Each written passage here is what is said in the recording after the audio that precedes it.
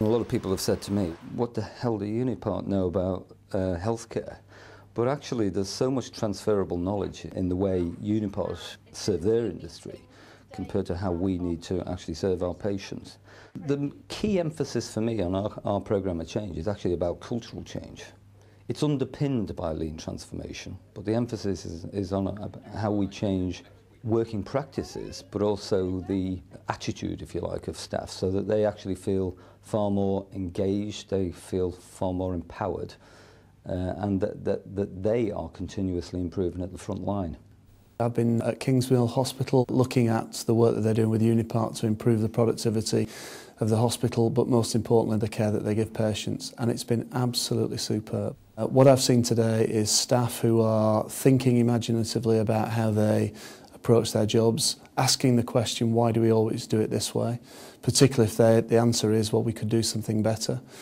Looking to use the best of the techniques from industry and Unipart working alongside as partners, helping them to improve their processes, but particularly make sure that patients get the benefits as a consequence of that.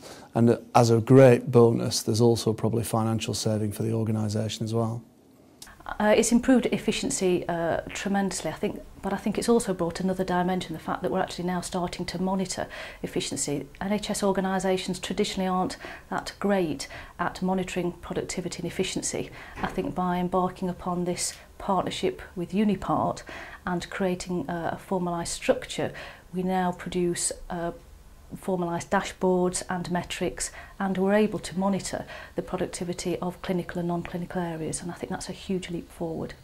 Uh, I believe uh, and the finance team believe that the ABC approach and the joint partnership with Unipart is really fundamental to, uh, to delivering high quality uh, customer focused patient care.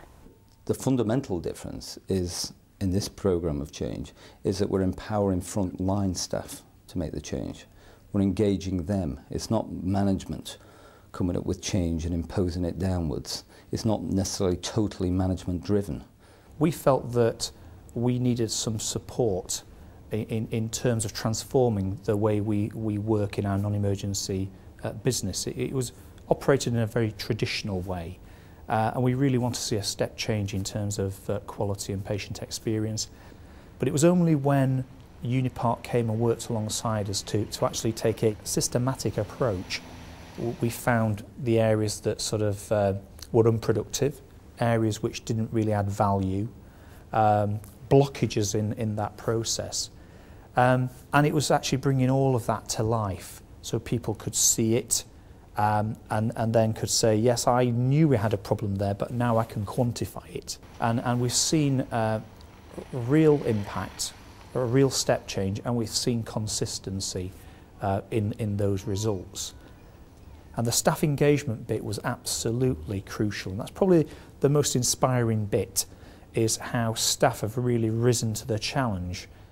I think there is a role for uh, public and private sector working together, but I think it's a combination of interests. And what I've seen here with Unipart in particular is one, they have a skill set and, a, uh, and years of experience which they've brought to bear in their own field, which is relevant to healthcare, but they've also been prepared to adapt and operate within the, cu the culture of the National Health Service, challenging where appropriate, but also going with the grain.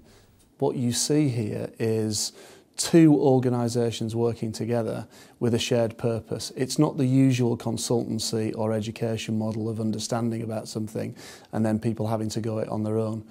I think Unipart as a partner of Kingsmill really have been together trying to get those shared improvements and benefits and that's what's really impressive.